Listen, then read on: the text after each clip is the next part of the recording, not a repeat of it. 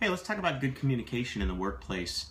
Um, I think the key to communication when you're dealing with coworkers or your boss or uh, the, the people that you work with, um, you know, clients, customers, all that. Um, I think the key to communication in the workplace is the same as key to communication at home or in your social life or anywhere else. Um, it starts with don't be a jerk. and I don't mean to oversimplify it, but that's kind of the truth, you know.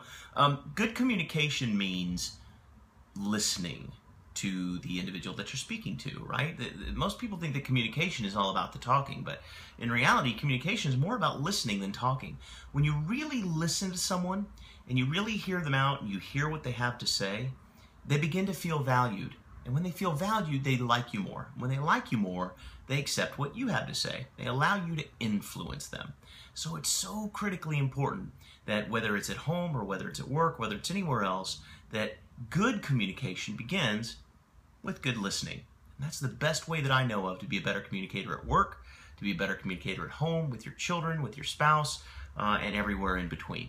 Um, I've built a business around communicating and building relationships with people. If you want to know more about creating an income, working from home, you can click on the link below. It'll take you to workingwithbrian.com. I'll give you the blueprint I used in 2013 to double my income and uh, get some freedom back in my life.